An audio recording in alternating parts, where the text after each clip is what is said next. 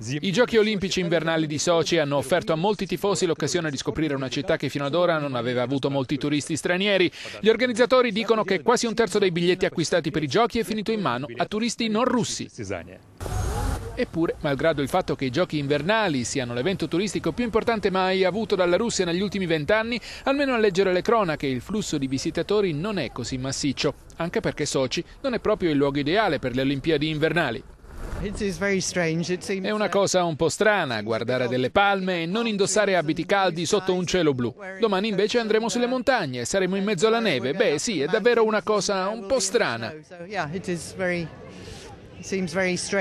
Il Comitato Olimpico Internazionale aveva riferito che il 30% dei biglietti per le competizioni era rimasto invenduto. I giochi invernali precedenti, organizzati a Vancouver in Canada, avevano a parità di arco di tempo fatto registrare il tutto esaurito. Il 97% dei biglietti era stato assorbito dal mercato. Siccome c'erano stati degli allarmi, sarei rimasto colpito se non ci fossero state misure antiterrorismo. Quelle che ci sono però non sono eccessivamente intrusive.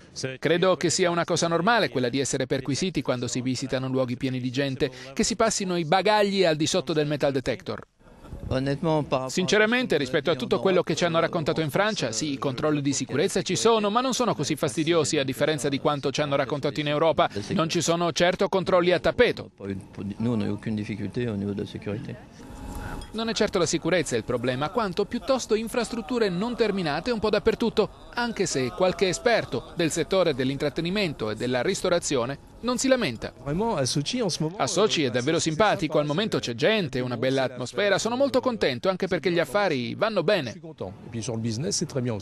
E c'è anche chi, come Rolf, un turista tedesco un po' speciale, è arrivato fin qui a bordo della sua Trabant, la storica utilitaria della Germania Est. A bordo di questa vettura si è recato a tutti gli appuntamenti olimpici dalla caduta del muro ad oggi e non è mancato neppure a questi giochi di Sochi.